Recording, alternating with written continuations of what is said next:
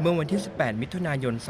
2561 ณ ห้องประชุม 1 ชั้น 4 อาคารบรมราชกุมารี มหาวิทยาลัยมหาสารคาม ผู้ช่วยศาสตราจารย์ดรชลธีโพทอง ผู้ช่วยอธิการบดีฝ่ายประชาสัมพันธ์และกิจการต่างประเทศ มหาวิทยาลัยมหาสารคาม เป็นประธานในพิธีมอบใบประกาศ แก่ผู้ผ่านการอบรมจำนวน 56 คน โครงการอบรมทักษะด้านการสื่อสารภาษาอังกฤษสำหรับบุคลากรฝ่ายสนับสนุน มหาวิทยาลัยมหาสารคาม ประจำปีงบประมาณ2561 English for Staff E4S โดยกลุ่มงานกิจการต่างประเทศ กองประชาสัมพันธ์และกิจการต่างประเทศ มหาวิทยาลัยมหาสารคาม ได้จัดโครงการอบรมทักษะด้านการสื่อสารภาษาอังกฤษสำหรับบุคลากรฝ่ายสนับสนุนมหาวิทยาลัยมหาสารคาม ประจำปีงบประมาณ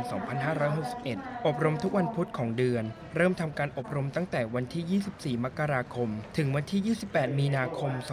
2561 โดยมีวัตถุประสงค์ เพื่อพัฒนาทักษะด้านการสื่อสารภาษาอังกฤษของบุคลากรฝ่ายสนับสนุนที่เกี่ยวข้อง สนับสนุนยุทธศาสตร์มหาวิทยาลัยมหาสารคาม ด้านการบริหารจัดการที่ดี และด้านภาพลักษณ์สู่สากล โดยมีโอกาสได้ร่วมกิจกรรม และสื่อสารกับผู้เชี่ยวชาญ ผู้ใช้ภาษาอังกฤษเป็นภาษาหลักโดยตรง ตามที่นโยบายมหาวิทยาลัยมหาสารคาม ได้กำหนดยุทธศาสตร์ด้านการบริหารจัดการ และด้านภาพลักษณ์ของมหาวิทยาลัยสู่สากล